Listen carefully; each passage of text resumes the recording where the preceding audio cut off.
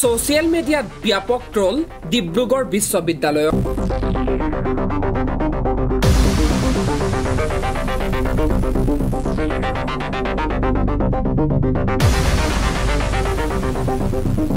এজন মাত্ৰ শিক্ষকৰ অনৈতিক কাৰ্যৰে ডিব্ৰুগড় বিশ্ববিদ্যালয়ৰ নৈতিকতা জুখিছে একাংশই।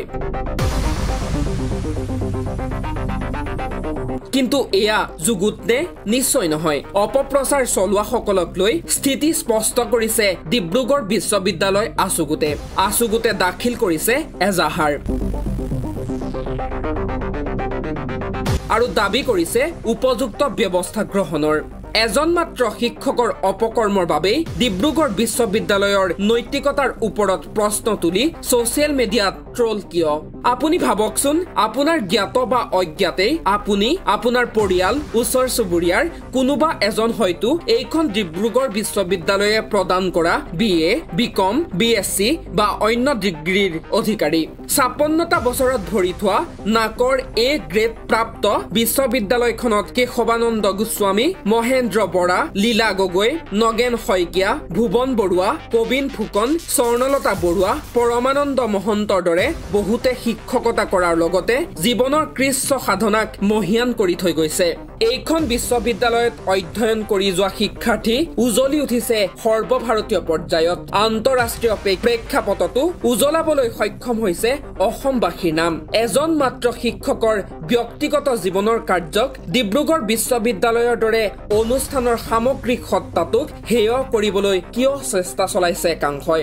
আপোনালোকে ভাবকচোন ডিব্ৰুগড় বিশ্ববিদ্যালয়ৰ পৰিয়াল এনে কাৰ্যৰ পৰিপন্থী। সেয়েহে বিশ্ববিদ্যালয়খনৰ আচুগোটে প্ৰথমেই বিশ্ববিদ্যালয় কৰ্তৃপক্ষৰ দৃষ্টিগোচৰ কৰাইছিল এই ঘটনাৰ।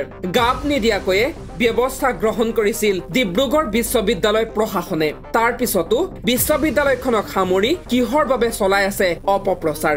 বনাইছে মিমছ কোনোৱে লিখিছে ৰস ৰচনা। সৃষ্টি কৰিছে সম্পাদিত অনৈতিক ভিডিঅ' অনুগ্ৰহ কৰি এইবোৰ নকৰিব। ছাপন্নটা বসন্ত গৰকা অসমৰ এই শিক্ষানুষ্ঠানখনৰ ঐতিহ্যমণ্ডিত গৰিমাত কালিমা নাসানিব।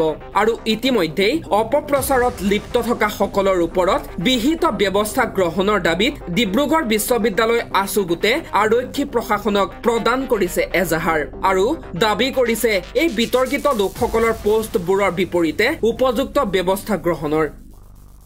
ইতিমধ্যে আমি সকলোৱে জানো যে বিভিন্ন সংবাদ মাধ্যম তথা বিভিন্ন ছ'চিয়েল মিডিয়াৰ যোগেদি গম পাইছোঁ যে ইতিমধ্যে ডিব্ৰুগড় বিশ্ববিদ্যালয়ৰ এজন সহকাৰী প্ৰাধ্যাপকক পুলিচে গ্ৰেপ্তাৰ কৰিছে। তেখেতৰ কিছুমান অশ্লীল ভিডিঅ' ছ'চিয়েল মিডিয়াত ভাইৰেল হোৱাৰ পাছত। আৰু ডিব্ৰুগড় বিশ্ববিদ্যালয় পঞ্জীয়কৰ যিখন এজাহাৰ ভিত্তিত তেখেতক গ্ৰেপ্তাৰ কৰা হৈছে। কিন্তু তাৰ পাছৰ পৰ্যায়ত দেখা গ'ল যে বিভিন্ন ব্যক্তিয়ে বিভিন্ন ছ'চিয়েল মিডিয়াত বা বিভিন্ন পেজবিলাকে কিছুমান মেমে বনাইছে। ট্ৰল কৰিছে যে ডিব্ৰুগড় বিশ্ববিদ্যালয়ৰ ছাত্ৰীসকলৰ বা ছাত্ৰসকলৰ অশ্লীল তেখেতক তেখেতসকলে অশ্লীলভাৱে ব্যাখ্যা কৰিছে। সন্মানীয় শিক্ষাগুৰুসকলক খুব বেয়া বেয়াকৈ তেখেতলোকে ট্ৰল কৰিছে অশ্লীল ভাষাৰে গালি গালাজ পাৰিছে। ইতিমধ্যে আমি গোটেই বিষয়টো আমি সদৌ অসম ছাত্ৰ সন্থাৰ দৃষ্টিগোচৰ হৈছে। আমি ডিব্ৰুগড় বিশ্ববিদ্যালয় আচুগোট তথা সদৌ ডিব্ৰুগড় ছাত্ৰ সন্থাই যে আমি ডিব্ৰুগড় সদৰ থানাত আহি আমি এজাহাৰ দাখিল কৰিছোঁ।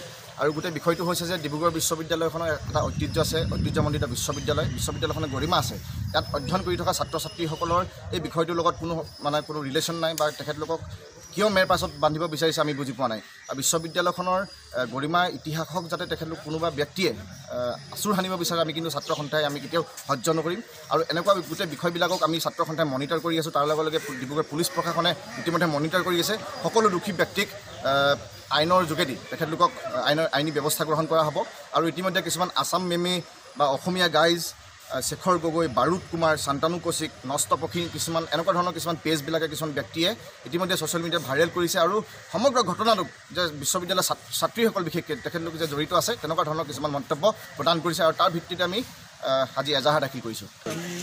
মই এতিয়া এজাহাৰ দিছে। আমাৰ ডিব্ৰুগড় বিশ্ববিদ্যালয় আছুক গোটে উপদেষ্টা আহিছিলে উদ্দীপ জ্যোতি গগৈ। তেওঁ এখন এফ আই আৰ ছাবমিট কৰিছে। এইটো এফ আই আৰ ছাবমিট কৰিছে। ৰিগাৰ্ডিং আপোনালোকে জানে ডিব্ৰুগড় ইউনিভাৰ্চিটিত আমি ইতিমধ্যে এটা কেছ ৰেজিষ্টাৰ কৰিছোঁ এজন মেথছৰ অধ্যাপকক আমি জেল হাজবেল প্ৰেৰণ কৰিছোঁ। এই এইটো সম্পূৰ্ণ ব্যক্তিগত।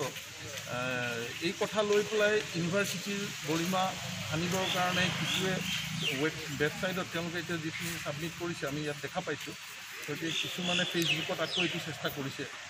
গতিকে এনেধৰণৰ কোনেও যাতে বিশ্ববিদ্যালয়ক লৈ বা বিশ্ববিদ্যালয় বেলেগৰ ছাত্ৰীৰ ওপৰত তেনে কিছুমান মন্তব্য দিছে বুলি এফ আই আৰ কৈছে গতিকে এইবোৰ এই কামৰ কাৰণে আমি যিসকলে কৰিছে আমি তেওঁলোকৰ ওপৰত একশ্যন ল'ম আমি সেইমতে কেছ ৰেজিষ্টাৰ কৰিছোঁ আৰু কিছুমান আমি ডকুমেণ্ট ছাবমিট কৰিবলৈ আমি তেখেতসকলক কৈছোঁ। কেইটামান ক্লিপ গতিকে সেইখিনি ক্লিপ তেওঁলোকে পিছবেলা ছাবমিট কৰিব। আৰু সকলোকে মানে সকলোকে মই ক'বলৈ বিচাৰিছোঁ ছ'চিয়েল মিডিয়াটো এনেধৰণে ইউজ যাতে নকৰে কাৰোবাৰ যাতে ক্ষতি হয়। অফেঞ্চিভ কথা যাতে নলগায় অফেঞ্চিভ কথা যাতে নিলিখে পষ্ট নিদিয়ে। আৰু এই পষ্টে মানুহৰ মনত দুখ আঘাত সানাৰ উপৰিও আইনগতভাৱে তেওঁলোকে আইনত দায়ী হ'ব আৰু আইনগতভাৱে তেওঁলোকৰ ওপৰত ব্যৱস্থা লোৱা হ'ব। ডিব্ৰুগড় বিশ্ববিদ্যালয়ক লৈ প্ৰচাৰ কৰিব লগা বহুতো ভাল কথা আছে। যদি আপুনি প্ৰচাৰ কৰিব বিচাৰে প্ৰচাৰ কৰক ডিব্ৰুগড় বিশ্ববিদ্যালয়ৰ ছাত্ৰ সমাজৰ জাতি প্ৰেম। কিদৰে কা আন্দোলনৰ সময়ত সমগ্ৰ অসমকে নেতৃত্ব দিছিল ছাত্ৰ সমাজে? প্ৰচাৰ কৰক অসমবাসীৰ বিপদৰ সময়ত অভিভাৱকৰ দৰে থিয় দিয়া ডিব্ৰুগড় বিশ্ববিদ্যালয়খনক। ইয়াৰ চিনে ক্লাব ৰাতি দুই তিনি বজাতো ৰক্তদান কৰিবলৈ যোৱা ল'ৰাবোৰৰ কথা আৰু প্ৰচাৰ কৰক ডিব্ৰুগড় বিশ্ববিদ্যালয়ৰ বুক বেংক যিয়ে দিন ৰাত একাকাৰ কৰি দুখীয়া ছাত্ৰ ছাত্ৰীৰ বাবে সংগ্ৰহ কৰি ফুৰিছে ব্যৱহৃত কিতাপ। আৰু বহুতো কথা আছে ডিব্ৰুগড় বিশ্ববিদ্যালয়ক লৈ প্ৰচাৰ কৰিবলৈ। জয়তো ডিব্ৰুগড় বিশ্ববিদ্যালয়। News desk report the horizon.